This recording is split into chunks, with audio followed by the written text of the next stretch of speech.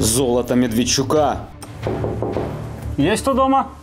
что не успел спрятать подозреваемый в государственной измене политик. Насправді На самом деле имущество в каждом из этих постановлений больше, чем на 50 страниц. Мы отправились на поиск активов экс-нардепа и узнали, сколько денег уже получил бюджет от его богатств. Площадка для вертолета. Эксклюзивный репортаж о сокровищах кума Путина.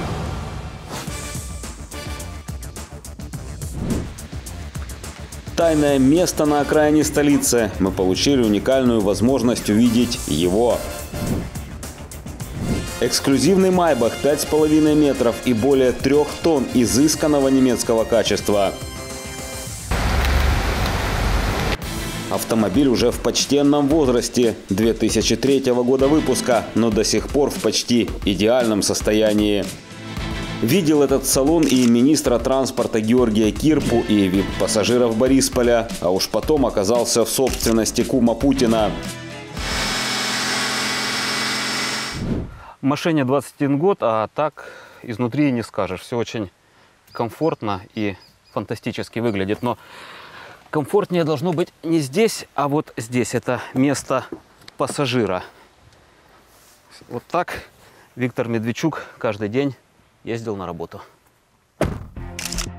После того, как Медведчук стал частью большого обмена на наших защитников, эта машина осталась в Украине. И буквально на днях у нее появился новый владелец. А теперь самое интересное, сколько это все стоит. Давайте считать. Новый Майбах от 8 до 10 миллионов гривен.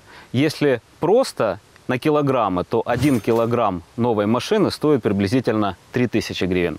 Этот, 21 год ему, был продан за 1 миллион 830 тысяч гривен. То есть новому собственнику машина обошлась в 500 гривен за 1 килограмм.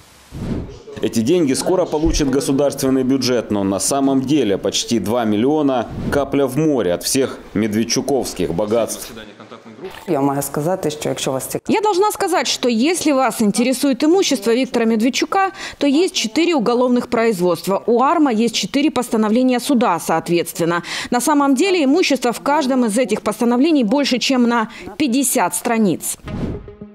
На этих оперативных кадрах от СБУ часы Медведчука. Коллекцию оценили в 10 миллионов 600 тысяч гривен. Например, вот эта модель с портретом жены экс-нардепа – 300 тысяч. Следующий шаг – открытый аукцион. Но в армии, говорят, выставляют на продажу только то, что может скоро потерять стоимость, тот же Майбах. А вот то, что может само приносить деньги, бизнес-активы, дома или земельные участки, лучше отдавать в управление.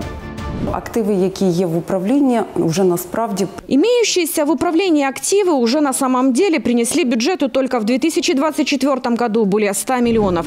Только от управления. Такими активами, например, является нефтепровод «Самара» западное направление, который проходит через 8 регионов Украины. И, кстати, мы уже имеем решение хозяйственного суда на частичную национализацию. Так вот, по именно этому активу поступления составляют уже более 25 миллионов гривен. Один из таких активов экс-нардепа спрятан в 30 километрах от Киева. Едва заметная лесная дорога ведет к этим воротам. Официально это спортивная база, но больше напоминает частную дачу, куда Медведчук приезжал отдохнуть от городской суеты. А возможно и не приезжал, возможно прилетал. Площадка для вертолета. Три этажа, бассейн, небольшая спортплощадка и собственный причал. К слову, очень похоже на Хонку Януковича в Залесье. И это неудивительно. И этот дом, и тот дом строила одна и та же фирма. И скоро уже три года, как все это стоит без дела.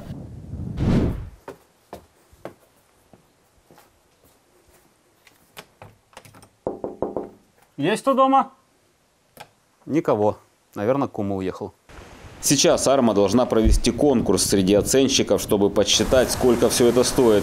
После этого еще найти управляющего, и процесс может быть долгим.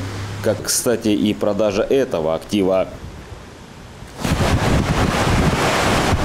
Почти 100 метров заоблачной роскоши. Суперяхта Royal Romance Виктора Медведчука была арестована еще в 2022 году. С тех пор, не без усилий со стороны адвокатов бывшего нардепа, этот актив до сих пор не продан. Хотя преимущество все-таки на стороне армы. В частности, на судне уже украинский флаг.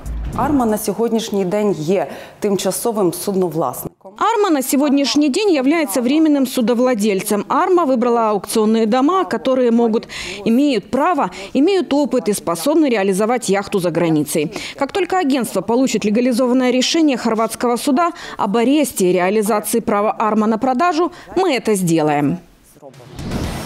И здесь уже речь идет о действительно больших деньгах. В последний раз эту яхту оценивали в 130 миллионов евро, которые имеют все шансы пополнить украинский бюджет.